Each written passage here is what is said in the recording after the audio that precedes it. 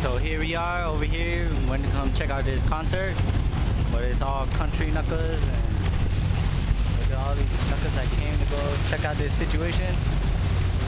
The situation is packed. Knuckles over here rubbing bootoos together. Might as well just start a knuckle campfire over here.